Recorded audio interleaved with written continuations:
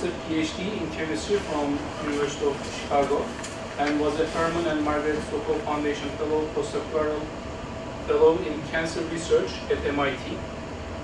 He has been a recipient of FEES Outstanding Young, Young Investigator Award and was most recently awarded Regents Teaching Award, the highest teaching award across the entire University of Texas system of institutions.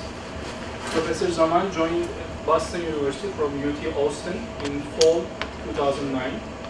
Dr. Zaman's research focuses on understanding, understanding the system biology of tumor invasion and metastasis. The second main thrust of his research focuses on developing computational and experimental tools to improve the quality of life, education, and the practice of medicine in the developing world. He is working closely with institutions of higher learning in curriculum development and implementation. In addition, he partners with various non-profits around the globe, in particular with the developing countries, to develop cheap, robust, and easy-to-use solutions to develop improved diagnostics in remote areas. Please join me in welcome. Thank you so much. It's a, it's a real honor to be here. Um, I, I, have to be honest, I didn't know about this institute until I, I, I got an email from a close friend. But um, the more I've learned and the more I've read, I, found it to be. Okay, that's. I'll just. The, the more I, I, appreciate the work that you are you are doing, so I'm, I'm really honored. It's a, it's a real pleasure. Um, what I'm going to talk about today is some of the work that we've been doing in improving the quality of higher education in developing countries. Um, we're very fortunate uh, Alhamdulillah to be in Boston, but what would it take to have this very conversation, this kind of environment in Botswana, or in India, or somewhere in Colombia? What does it take? And at the end of the day, what it takes is the quality of higher education to create people who think big, who solve problems, and who use innovative solutions to meet the challenges of their society. If you look at the history of the, the United States, what you realize is among many things that went right for this country, one was the improvement of higher education systems and the institutions of higher education that were established early on, that were independent, that were creative, and that had autonomy to work on the most pressing problems of that country at that time. When we look across the world, we find something like this. This is under five mortality rate in uh, parts of the world. And, and red areas, this is Afghanistan, Angola, parts of Somalia, parts of the Congo. You're looking at a probability of 1 in 5, or greater than 1 in 5, of a child not ma making his or her fifth birthday. I have two many of us can have kids. And at no point would one anyone want to imagine the situation that the probability is greater than 20% that your son or your daughter wouldn't reach his or her fifth birthday. So part of the challenge that we're dealing with here is the fact that there is very little innovation, there's very little public health, there's very little capacity to solve the problem of these places. Some of them are driven by war, some by corruption, some by poverty, and some by all of the above. But that is no reason for us not to think about addressing these challenges that we see in the world or making it a better place. If you look at the global burden of disease, we again find a tremendously high proportion, in this is HIV, in, in parts of Africa, and again, a severely high burden in other parts of the world as well.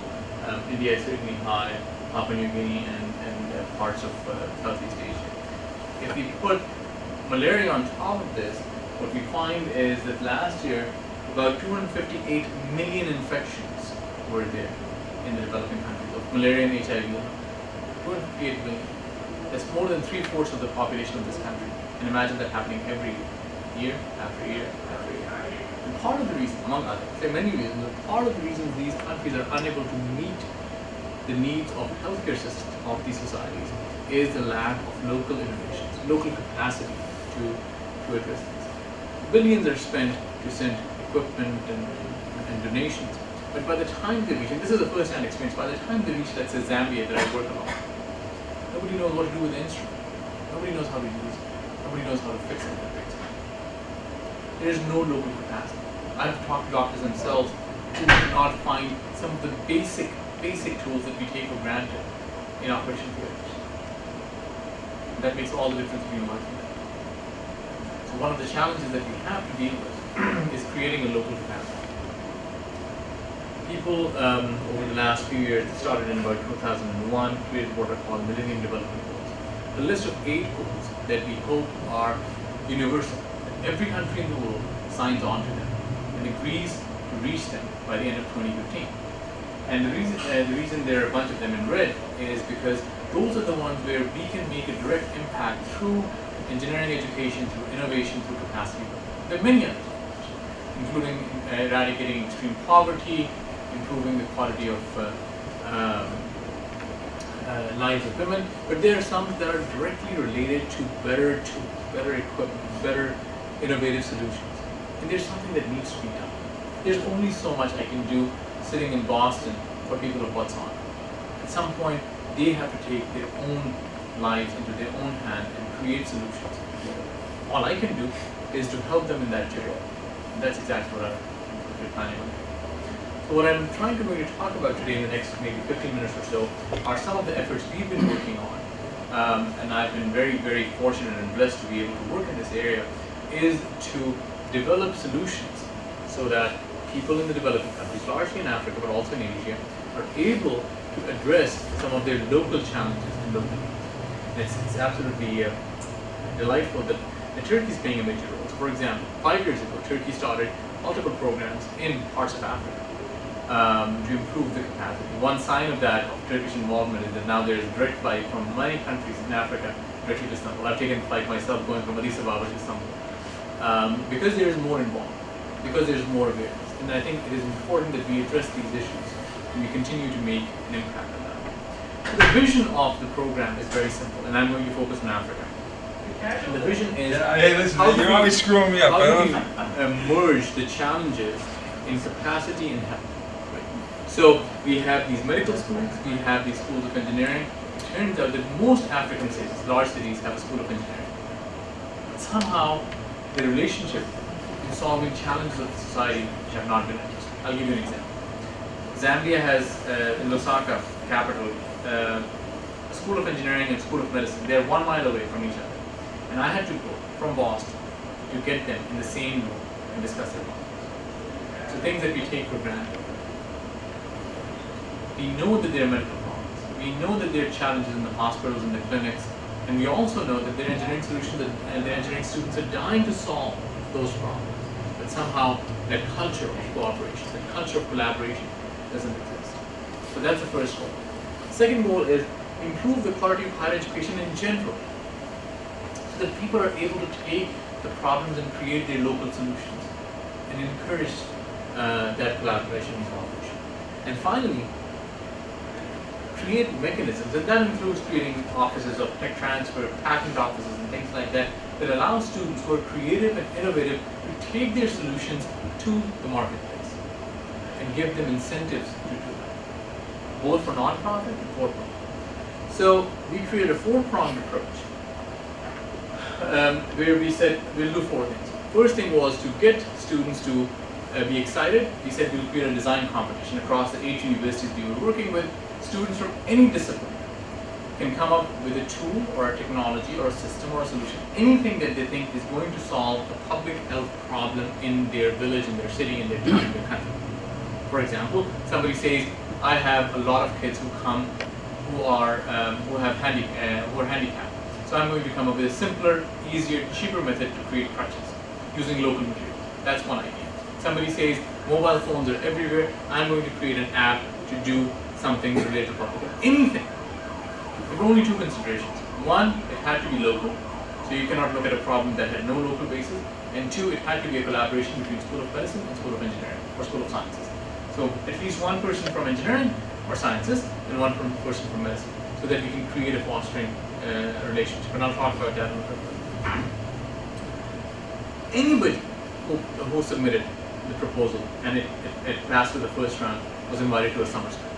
The summer school was a two week long, and we'll have another. We had one in Uganda last year. We'll have one in Kenya this year. Was an idea where people from all walks of life, people like myself who are academics, who have research laboratories, as well as people who think about innovation from the patent standpoint, people who are thinking about innovation from the abstract sense, people who are thinking about policy. They will be the professors. These students from many different countries will be invited to a summer school so they can learn how does one think about innovation outside Africa? How does one think about innovation within Africa? How do you solve these problems? How do you think about it? What is the theory behind it? What is the policy? How do you move forward? Anybody who made it to the first round was invited. Third thing was creating mechanisms for improved higher education. So how do you create a program in biomedical engineering for an undergraduate discipline, for a graduate discipline, and so on and so forth? And they're real challenges. Anybody who goes through that will say, well, uh, if you want my son or my daughter to go into biomedical engineering, what kind of job will he or she have? That's a question. Or, if they're really good, why wouldn't they move to South Africa from Zambia? Wouldn't they be brain drained? All of those questions are very real questions that we have to think about creating a system. And finally, perhaps the most important thing is to make sure that people who are already in the system, people who are such as nurses, such as technicians, they also get trained on the new equipment that comes to them. The last time they were trained, 1980s, perhaps 70s. 30, 40 years they're working in the same hospital over and over and over again. And there hasn't been any means of retraining, getting them excited about the problem, the solution, the challenge. So how do you do that? So this was a four-pronged uh, program that we launched about two and a half years ago. And we started off in, uh, in, in, in, universities in four countries. Um, South Africa at the bottom, Zambia, well five countries. Um, Kenya, Uganda, and Ethiopia. And we chose eight universities. And we chose universities, eight universities from these countries, and then universities from South Africa, because South Africa is a much more um, developed country in that region. So we wanted local mentorship as well not just mentorship coming that is coming only from the US, but also local mentorship from South African universities. And they have a lot. So that was the idea, to create these things and work with the students of these institutions. Somebody say why these institutions and why not others? There were two reasons. One, these are all English-speaking areas. Uh, parts of Africa are French-speaking, and there, there's a language barrier, both for the students and for the people who were involved. Right, so that was one reason. Second reason was we had an open call, and these were the eight institutions that showed interest in this program. So we want, we want to expand this, but this is what we started. We got some money from the from the Republic of Korea, from their uh, aid uh, program. We got uh, funding from Boston University, and we got funding from United Nations Economic Commission for Africa.